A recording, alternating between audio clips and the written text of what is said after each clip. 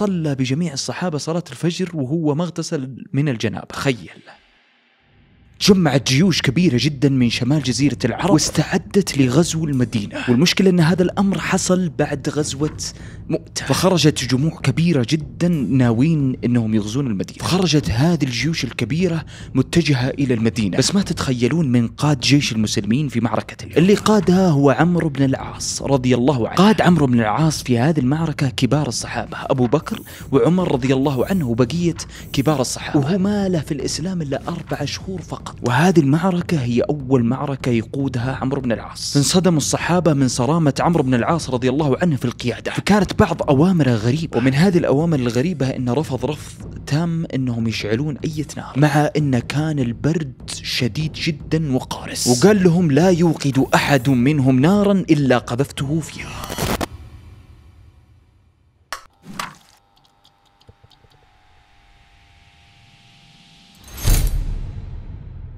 السلام عليكم ورحمة الله وبركاته. حياكم الله وبياكم وجعل الجنة. مأوانا ومأواكم ومثوانا ومثواكم يا رب العالمين. عمرو بن العاص رضي الله عنه كان تاجر من تجار قريش قبل الإسلام. وكان رجل صارم ما عنده يمين ويسار. وما كان تاجر فقط في قريش فكان قائد من القادة. فعمرو بن العاص شهد غزوة بدر وأحد والخندق حتى. بس ما كان في صفوف المسلمين والصحابة. كان في صفوف المشركين. فكان رجل تاجر ومحارب وقائد بس عمرو بن العاص بعد غزوة الخندق هاجر من مكة للحبشة. بس مو عشان أسلم. كان خايف من عار الهزيمة إنها تلحقه. خاصة بعد ما شاف العجب في غزوة الخندق. وعرف إنه محمد صلى الله عليه وسلم امره سيظهر. بس عاد من الحبشة مهاجر للمدينة بعد ما أسلم على يد النجاشي. وكان هذا الأمر في شهر صفر سنة ثمانية هجري. بس بعد أربعة أشهر فقط من دخوله في الإسلام وفي جمادى الثاني نداه النبي صلى الله عليه وسلم لقيادة جيش الإسلام ضد المشركين. وبما أن عرفنا نبذة بسيطة عن عمرو بن العاص رضي الله عنه خذ لك شيء تأكله ولا تنسى تتابعني في كل ال social media واكتب أنس آكشن. وبإذن الله العلي العظيم راح أطلع لك. من دون ما نطول بسم الله نبدأ بعد معركة مؤتة بشهر تقريبا وفي شهر جمادى الثاني سنة 8 هجري نادى النبي صلى الله عليه وسلم عمرو بن العاص. في يوم وصل عمرو بن العاص للنبي صلى الله عليه وسلم قال له النبي صلى الله عليه وسلم يا عم أشدد عليك سلاحك وثيابك ثم أتني. يعني روح تجهز بلبس الحرب وتعال. فيقول عمرو بن العاص فرحت بسرعة ولبست لباس الحرب ورجعت للنبي صلى الله عليه وسلم. في يوم وصلت للنبي صلى الله عليه وسلم لقيته جالس يتوضأ. فرفع النبي صلى الله عليه وسلم رأسه وطالع فيني ومن بعدها نزل رأسه. وأنا جالس أناظر في النبي صلى الله عليه وسلم وبيدي سلاح في يوم نزل النبي صلى الله عليه وسلم راسه قال يا عمرو إني أريد أن أبعثك على جيش. على جيش. يعني في معركة دوبنا طلعنا من غزوة مؤتة. قد وصل خبر للنبي صلى الله عليه وسلم بأن جيوش تجمعت على غزو المدينة. وكانت هذه الجيوش مي بسهلة الجيوش هذه كانت من قضاع وهم ثلاثة قبائل تجمعوا للغزو على النبي صلى الله عليه وسلم. وهم قبيلة بلي وعذرة. وبنو القين وكلهم من شمال جزيرة العرب. تقريبا من الشام. في كمل النبي صلى الله عليه وسلم كلامه ويقول فيسلمك الله ويغنمك. يعني بترجع من هذه المعركة سالم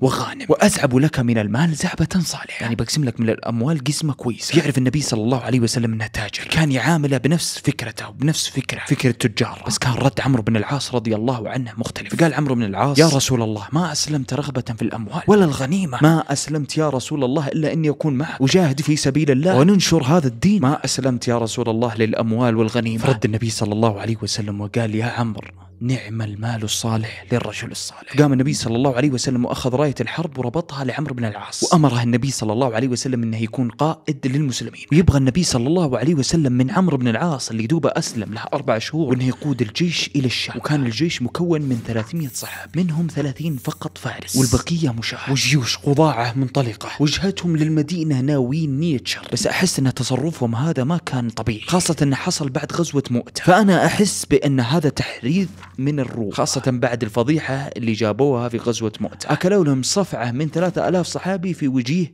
200 ألف من الروم. بحس أن هذه قهرتهم وخلتهم يحرضون قضاعة وقبائل شمال جزيرة العرب على أنهم يتوجهون ويغزون المدينة. وترى هذه هي تصرفاتهم إلى يومك هذا. فإذا ما قدروا على أحد حرضوا اللي جنبه. باسم السياسة وهو في الحقيقة أصلا خوف وجب. فخرج عمرو بن العاص ومعه الجيش وكانوا يمشون بالخفية. يمشون في الليل ويجلسون في الصباح. بس يوم قرب جيش المسلمين من جيوش قضاعة أرسل عمرو بن العاص عين من العيون. يجيب أخبار الطريق والجيش. كم عددهم وإيش اللي معهم من أسلحة. فانطلق هذا العين يشق الطريق لهم يسبق الجيش. بس يوم رجع هذا العين رجع بأخبار صادمة. جيوش قضاعة ما كانت بسيطة. كبيرة جدا. جمعوا الكثير من المقاتلين والأسلحة. جيوش كأنها جيوش مدعومة. مدعومة من الروم. والله أعلم. فأرسل عمرو بن العاص رافع بن مكيث الجهني للنبي صلى الله عليه وسلم عشان يعلمه بأمر جيوش قضاع وإن عددهم مو بسهل ومعهم أسلحة كثير يطلب النبي صلى الله عليه وسلم بعض من المدد فخرج أبو عبيده بن الجراح ومعه 200 من الصحابة. وكان قائد عليهم ومعهم خليل رسول الله صلى الله عليه وسلم. أبو بكر رضي الله عنه وعمر. يعني كبار الصحابة خرجوا في ال 200 هذولا. طبعا أبو عبيده بن الجراح لقبه النبي صلى الله عليه وسلم بأمين الأمة ولها مكانة كبيرة في الإسلام. فهو من السابقين الأولين للإسلام وهو من العشر المبشرين بالجنة. يعني قائد لا يستهان فيه ابدا. يعني من كبار الصحابة وعمرو بن العاص له أربع شهور في الإسلام بس يوم جاء يخرج أبو عبيدة بن الجراح من المدينة أمره النبي صلى الله عليه وسلم بأنه يلحق بعمرو بن العاص. وإنهم يبقون مع بعض ولا يختلفون أبدا. لأن أبو عبيدة بن الجراح من من القادة المعروفين يعني. خلاص له مكانته وله كلمته. وعمرو بن العاص يعني دوبه أسلم له أربع شهور. فانطلق أبو عبيدة بن الجراح من المدينة. متجه إلى عمرو بن العاص. فأول ما وصل أبو عبيدة استبشر المسلمين. وكان قائد على كبار الصحابة. أمره النبي صلى الله عليه وسلم على أبو بكر وعمر. فأول ما وصل رحب عمرو بن العاص كمدد وقال له أنت مدد لي وأنا القائد. بس أبو عبيدة بن الجراح يعني من كبار الصحابة. يا عمرو أنت أول قيادة لك في الإسلام. يكفيك أن النبي صلى الله عليه وسلم أمرني على كبار الصحابة. وكبار الصحابة لا شك أنهم مو بس مدد بل هم العمود الفقري حق الجيش. وإذا النبي صلى الله عليه وسلم أمرني على أساس الجيش فلا شك بأن أمرني على الجيش كامل. فقال أبو عبيدة بن الجراح خلني أنا أقود وأنت ترتاح. أنا بقود الجيش. بس كان رد عمرو بن العاص؟ صارم. قال له بل أنت مدد لي وأنا القائد. فأبو عبيدة هنا يبغى يفهمه يعني يقول أنا جاي ومعي مجموعة من كبار الصحابة. أمرني النبي صلى الله عليه وسلم عليه أبو بكر وعمر وغيرهم من الصحابة الكبار. فبدأ يفهم أبو عبيدة بن الجراح قال له أنا النبي صلى الله عليه وسلم أرسلني على رأس 200 من كبار الصحابة. فأنا القائد عليه فعلى الأرجح أن النبي صلى الله عليه وسلم أمرني. فبدأ الاختلاف يزيد بينهم. فقال عمرو بن العاص بل أنت مدد لي وأنا القائد. يقولها عمرو بن العاص بكل ثقة سبحان الله شوف النبي صلى الله عليه وسلم كيف عرف بأنهم سيختلفون. النبي صلى الله عليه وسلم كأنه معلمه عارف شخصية كل واحد. سبحان الله. وعارف أن أبو عبيدة بن الجراح له مكانه قائد. كبير في المسلمين يعني. يوم شاف أبو عبيدة أن بوادر الاختلاف بدأت تذكر أمر النبي صلى الله عليه وسلم. كان أبو عبيدة في قمة الأدب حتى أن قيل فيه حسن الخلق لين العريكة سهل عليه أمر الدنيا. ولين العريكة اللي ما يجادل كثير ما يختلف كثير خلاص. أهم شيء إن نخلص الخطة. قال أبو عبيدة بن الجراح لتعلم يا عمرو أن آخر شيء عهد إلي رسول الله صلى الله عليه وسلم. أن قال؟ إن قدمت على صاحبك فتطاوعا ولا تختلفا. وإنك إن عصيتني لأطيعنك طاعة لرسول الله. فقال عمرو بن العاص فإني الأمير عليك وأنت مدد لي.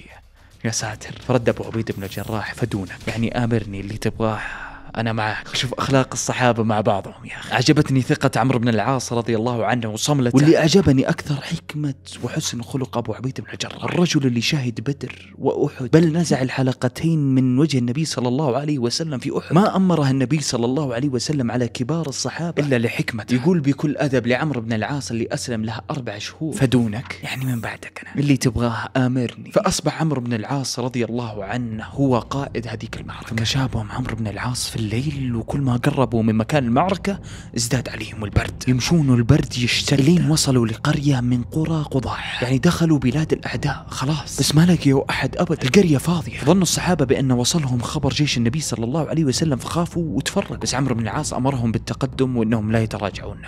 كملوا كملوا الصحابة طريقهم. حتى وصلوا لقرية ثانية من قرى قضاح ويقال بأن هذيك المنطقة هي منطقة تسمى بذات السلاسل. يوم وصلوا المنطقة هذيك إلا بجيوش المشركين تظهر لهم. وكانوا مو نفس العدد اللي وصلهم. كانوا قليل. وقف جيش المسلمين. قد وصلنا خبر بأن جيش المشركين كبير.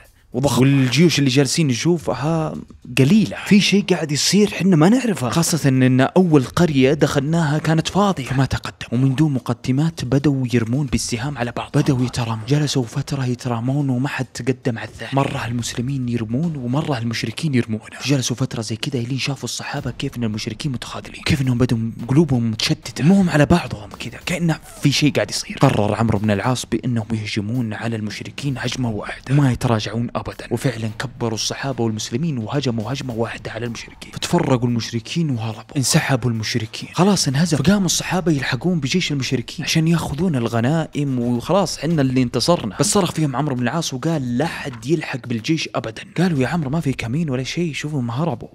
حنا انتصرنا. خلنا نلحق بهم وناخذ ال- ال- الغنائم. استغرب الصحابة من فعلته يعني. ليش؟ بس إنهم سكتوا الصحابة وسمعوا كلام عمرو بن العاص. بس عمرو بن العاص ما أخذ الجيش ورجع للمدينة. أمر عمرو بن العاص بأنهم يبيتون لليوم الثاني وبعدها يمشون للمدينة. فإن كان لجيش المشركين رجعة فعن جاهزين بس يوم جاء الليل واشتد البرد عليهم. وتعرفون الشمال كيف هو بارد أصلا ومليان ثلوج. قام الصحابة يجمعون الحطب عشان يشعلون النار ويتدفون يعني. في يوم جمعوا الحطب وجو يشعلون النار. كالعاده يعني قام عمرو بن العاص وأمرهم بأنه ولا نار راح تشبونها ابدا هذه الليلة. كيف يا عمرو؟ نموت. برد. البرد شديد وحنا أولاد صحراء. أولاد حر. قال لا يعني لا انتهى. كلمتي واحدة. عمر هذه أول سرية لك تقودها في الإسلام. معنا أبو بكر وعمر وناس يعني يعني عقول كبيرة ما ما حد قال نفس قولتك ذي قال كلمتي واحدة ولا نار أشوفها تشتعل الليلة. طبعا الصحابة سمعوا كلامه يعني و...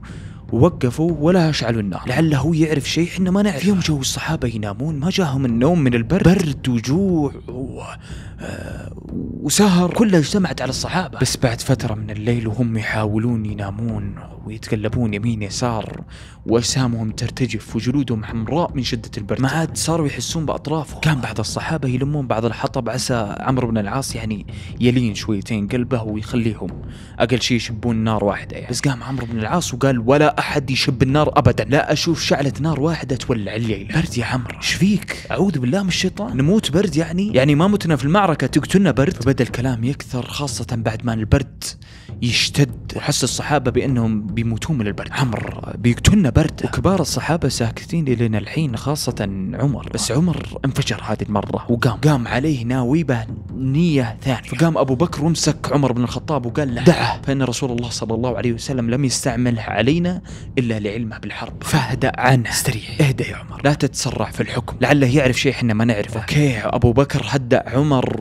والوضع حبي بس إن البرد بيقتل الصحابة خلاص. ثلوج يا رجل. قاموا الصحابة يجتمعون عند أبو بكر رضي الله عنه يشتكوا له لأن البرد والسهر ذبحهم. ما هم اللي قادرين ينامون والبرد اشتد عليهم إلى درجة إنهم ما هم حاسين بأنفسهم. قالوا يا أبا بكر سيهلكنا عمرو. بيقتلنا برد. قال لهم خلاص عندي أنا راح أكلمه وبإذن الله إنه يعني عساه عساه يلين قلبه ويسمح له. فقام أبو بكر وتوجه لعمرو بن العاص. وبكل تلطف قال له عن البرد اشتد وأن الوضع كذا ما يصير يعني. عساه يسمح لهم بأنهم يشعلون ولو نار واحدة يعني. بس رد عمرو بن العاص كان صارم جدا. فقال لا يوقد أحد منهم نارا إلا قذفته فيها. قلت ما في نار يعني ما في نار. يا ساتر. وجلسوا الصحابة كلهم مع كبار الصحابة من دون نار في وسط البرد. وما أحد من الصحابة يعرف إيش السبب. جلسوا على هذا الحال إلين أصبح الصبح وتجهزوا عشان يرجعون للمدينة. فأول ما أصبح الصبح جو يبغون يصلون صلاة الفجر. فقام عمرو بن العاص لصلاة الصبح وقال لهم أنا على جنابة. واجب علي هالغسل. لازم أغتسل عشان أصل. والدنيا برد وأنا نهيتكم أنكم تشعلون النار. ولو اغتسلت في هذا البرد الشديد سأهلك. بموت. بتجمد. فقام عمرو بن العاص من بينهم وغسل مغابنه اللي هي باطن الأفخاذ ووضى وصلى بهم صلاة الفجر. صلى بجميع الصحابة صلاة الفجر وهو ما اغتسل من الجنابة. تخيل. المهم إن الصحابة سمعوا كلام عمرو بن العاص وخلصوا من صلاة الفجر وتوجهوا إلى المدينة. كل هذا سمعوا طاعة وثقة في اختيار النبي صلى الله عليه وسلم. اختار عمرو بن العاص عليهم يعني خلاص. فأول ما وصل المدينة استقبلهم النبي صلى الله عليه وسلم وسألهم كيف وجدتم عمرا وأصحابه. ها كيف عمرو فأثنوا عليه الصحابة كلهم.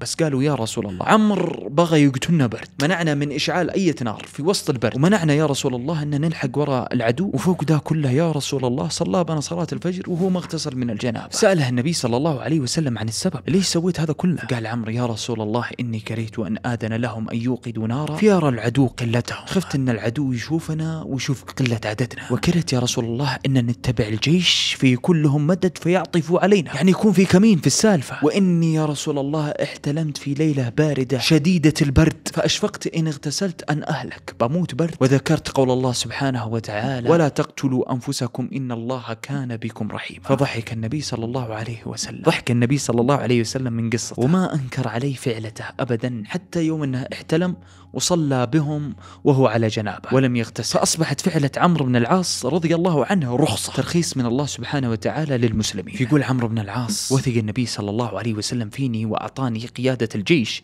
مع أن مالي إلا أربع شهور من يوم أسلمت. والآن فرحان بي وبقيادتي وقراراتي. يقول فظننت إني أحب الناس للنبي صلى الله عليه وسلم. يقول تدري وش؟ والله لا أغتنم الفرصة وأسأله عساه يعترف لي. فتصير لي يعني شهادة. بأني أحب الناس للنبي صلى الله عليه وسلم. فراح للنبي صلى الله عليه وسلم وجلس عنده وسأله. فقال يا رسول الله أي الناس أحب إليك؟ وينتظر الإجابة وهو مبتسم. خلاص منتظر بس عمرو بن العاص. ثقة عمياء. فقال النبي صلى الله عليه وسلم لما ليش تسألني؟ فقال أمم لي أحب من تحب يا رسول الله. طبعا ما يبغى يبين له أنه جالس يسأل عن نفسه. فقال النبي صلى الله عليه وسلم عائشة سكت عمرو جلس يطالع. أمم.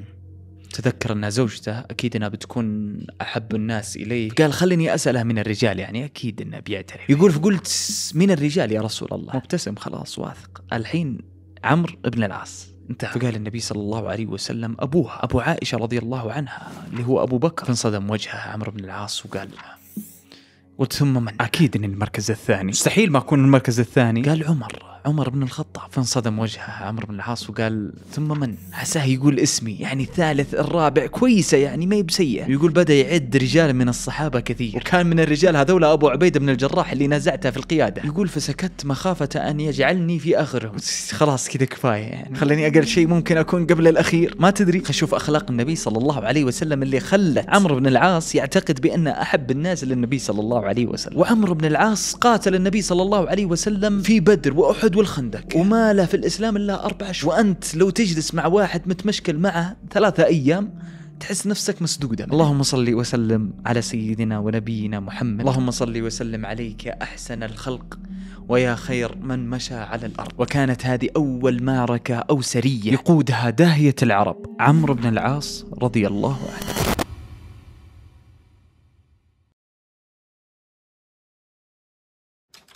إلين هنا وصلنا لنهاية قصة اليوم، أتمنى أن القصة نالت على إعجابك وبإذن الله راح نستمر في سلسلة سيرة النبي صلى الله عليه وسلم والمعارك. نشوفكم إن شاء الله الحلقات الجاية، سبحانك اللهم وبحمدك، أشهد أن لا إله إلا أنت أستغفرك وأتوب إليك، نشوفكم على خير وتوحشوني. السلام عليكم ورحمة الله وبركاته.